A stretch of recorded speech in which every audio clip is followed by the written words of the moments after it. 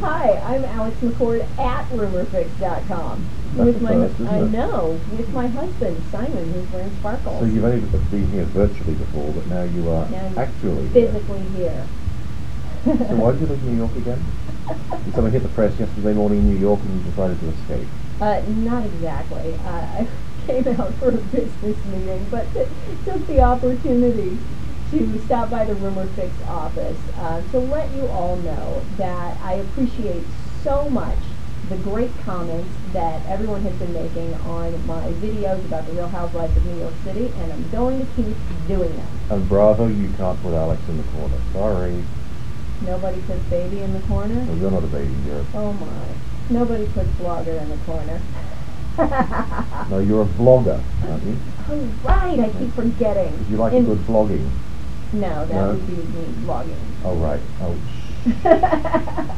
In any case, um, make sure you log on to rumorfix.com and check out my videos because they're going to keep on coming. Mean, number nine went up today, and there should be another nine or ten or eleven or how many episodes there will be of this season's of Real Housewives of New York City. You see, I don't have any insider info. I don't even know how many episodes there are going to be. I'm going to find out just like you are. But that's the thing. We uh, we had a farewell dinner the night before filming started of season five.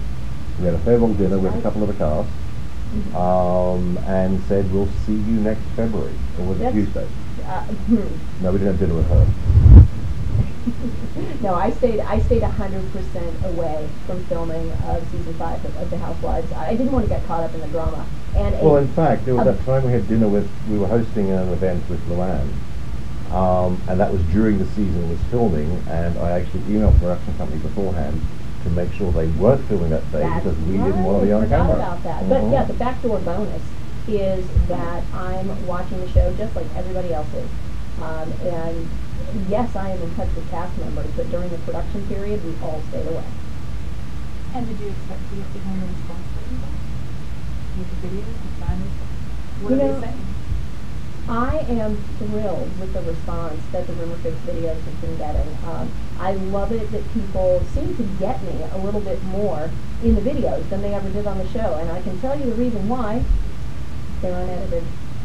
Five minutes of Alex ad libbing without a teleprompter with a few. Actually, can I tell them your little secret? Oh, sure. She oh. uses a Melissa and Doug easel that our kids used to use when they were toddlers, and that's got all the notes, her bullets for It's each a little speech. chalkboard with a dry erase on the back. So if you see me looking off to the side, I'm looking at my. So anyway, there'll be another nine or ten or eleven more vlogs on.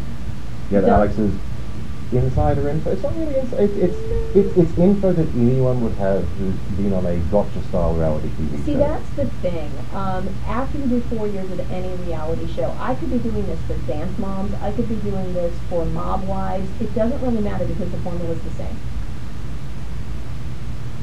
And do you have any advice that you can have? Advice for future housewives. Don't ever, ever, ever, ever, ever, ever let anyone tell you what to do. Uh, there's a balance to stuff in that. Hey, look, well, see, that's your answer. This is mine. well, well, you know, go back to Girls Not Out in season one, right? That's a scene that's airing every day in England at the moment. And, you know, people say to us, move on from Housewives, move on. But the problem is, we have new people watching the show every day. And it's like, do we just say, well, sorry, we're not on the show anymore, we can't tweet back at you, we won't reply to your questions. It's like, there's a balance to be struck between being rude and being nice, and Alex and I have always been nice. Have we? Really? Have we not spoken? I don't know about that. Uh, yeah.